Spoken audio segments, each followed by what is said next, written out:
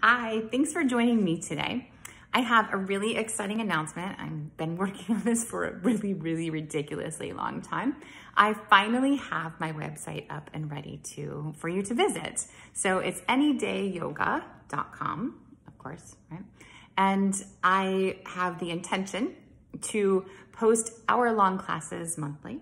I will also have pose breakdowns and asana tips, I also intend to blog a little bit about some other, other things about class and, and yoga in general.